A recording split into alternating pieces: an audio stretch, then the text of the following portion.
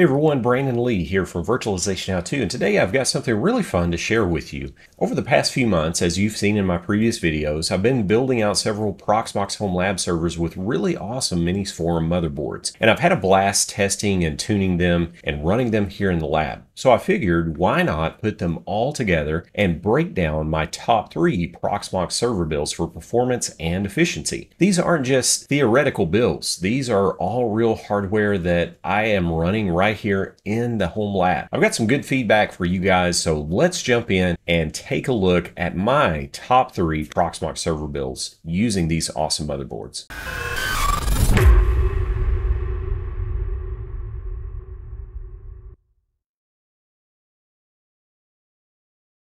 At the number 3 slot is the Workstation Beast, and this is built upon the BD790i X3D motherboard with the 7945 X3D processor. Now, this was my last build, a bit over the top, Aesthetically, I wanted to make this pleasing to the eye. It's a GPU capable workstation slash server. It's built on top of that BD790i X3D board. The Ryzen 9 7945X3D processor has that AMD 3D V-Cache, which makes it especially suitable for gaming or other graphics intensive processing. 16 cores, 32 threads. Other specs include 128 gigs of DDR5 memory. It doesn't officially support that, but as you all know, I've been heavily testing the 128 gig kit, two times 64 gig crucials. The RTX 5070 was the card that I wanted to put in there. I've still not done that yet. I've got a one terabyte Predator Gen 4 NVMe drive, and also I've got a four terabyte Samsung 990 Pro for my VM storage. Now the case was the Thermaltake Tower 200. Now with this setup, I can do GPU pass through, run high density VMs with Proxmox. I can even do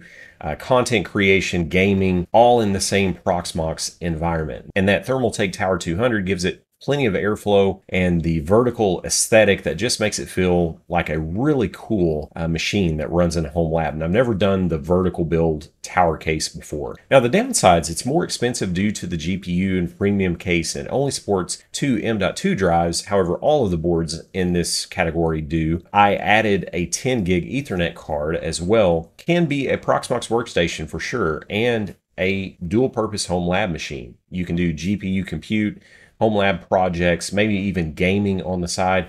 And I thought of this as the best of both worlds build for my use case here in the home lab. It does not include SATA ports, so you won't be able to install a separate drive using a SATA SSD drive and hold off all of your M.2 slots for the purposes of running virtual machines, containers, other types of storage. Now, there are some workarounds to that. You can use riser cards, you can use add-in cards that add those various ports, uh, perhaps in a PCIe slot, which this motherboard does have. However, do make note of that it doesn't have the native 10 gig Ethernet connectivity either, which again, all of the boards, these three Proxmox builds from Minisforum, none of those have 10 gig Ethernet. All of them have 2.5 gig Ethernet. So those are just some downsides with this board. However, I think it packs a tremendous punch in a extremely small footprint that you can put inside of very small cases if you have very low profile, low footprint builds that you want to add to your home lab. So really cool. But that's at the number three slot.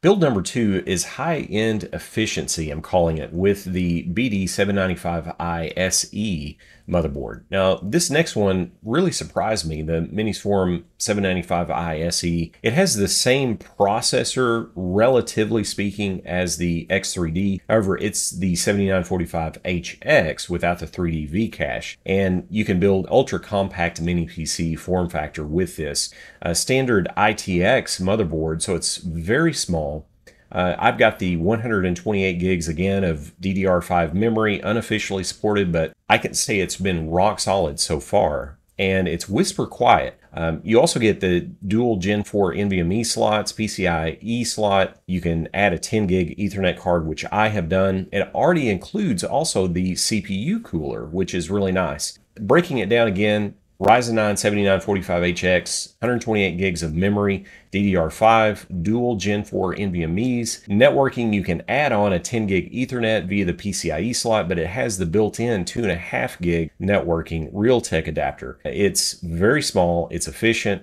Minisforum calls it the mobile on desktop, you do have to add a 120 millimeter fan that you bring to the build. With power optimization, if you get the core performance boost off, you're going to have half the performance relatively, but half the power draw as well. So this one's ideal for people looking to run Docker Swarm stacks, Kubernetes nodes, multiple VMs, even lab grade SaaS environments.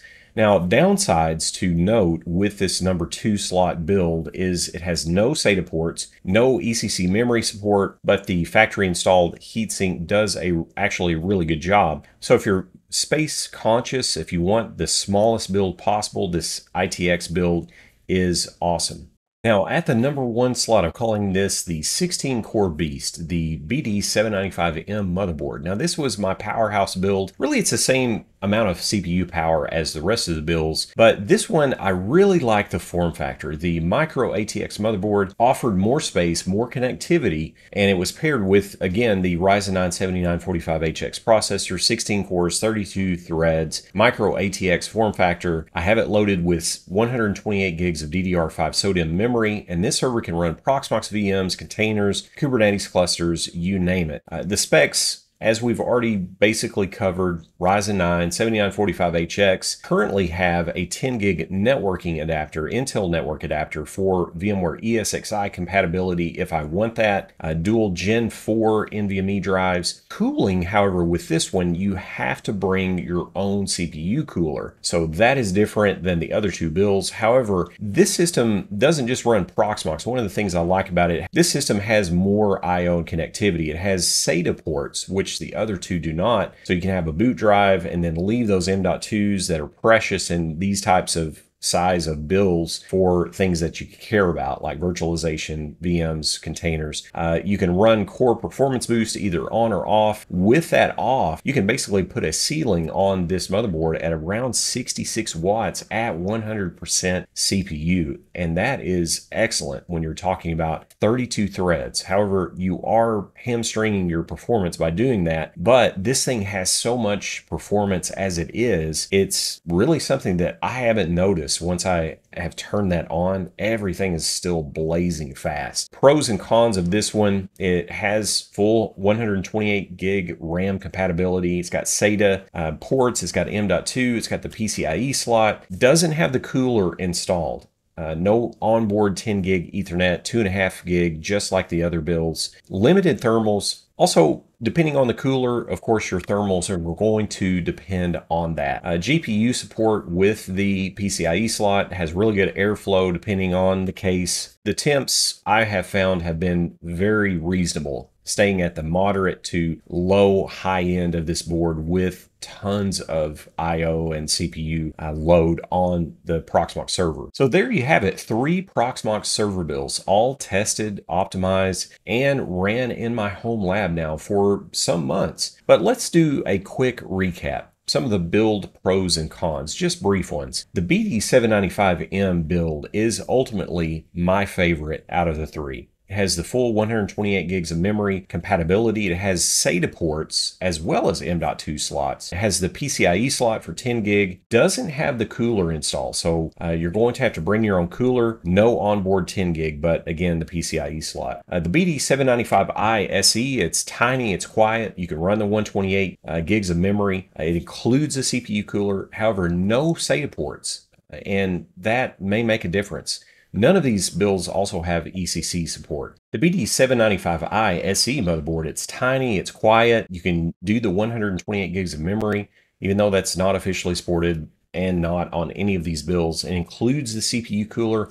However, no SATA ports are included on this board. The BD790i X3D is great for graphics, gaming, if you want a dual purpose workstation, GPU support, 128 gigs of memory supported, uh, even though not officially. It has no onboard 10 gig Ethernet connectivity, only the 2.5 gig. Also, to mention, all three of these boards do not support ECC memory, so that may be a deal breaker for some.